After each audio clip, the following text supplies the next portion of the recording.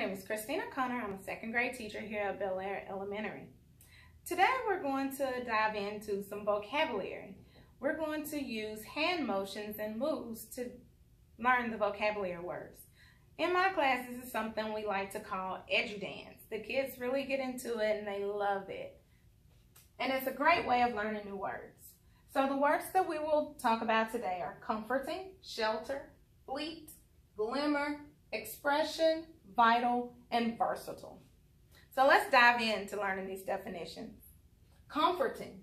Something comforting makes you feel better when you are sad or afraid. Shelter. To shelter something is to keep it from getting hurt by the sun or weather. Fleet, a person or an animal that is fleet, moves fast. They love that part. Glimmer, to glimmer is to shine or twinkle softly.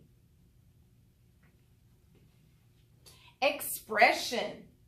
Your expression is the look on your face that shows what you are feeling. Vital. Someone or something that is vital is full of life. Versatile. If someone or something is versatile, they can do many different things. There you are. Play this back and try to learn these vocabulary moves to help increase your vocabulary. And hey, try to use some of these throughout the day and the weeks ahead. Bye.